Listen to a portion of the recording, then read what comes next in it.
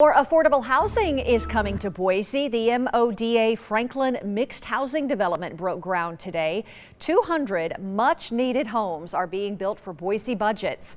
It is the first housing land trust development to have mixed housing types that are in a range of prices to accommodate different incomes. The development is located at Franklin and Orchard in Boise's Bench.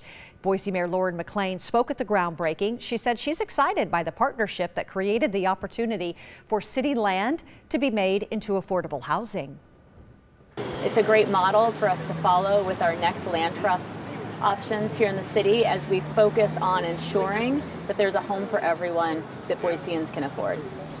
Mayor McLean also said the new neighborhood will integrate integrate into Franklin Park so there are more gathering spaces for the community and provide opportunities for small businesses to come to the bench.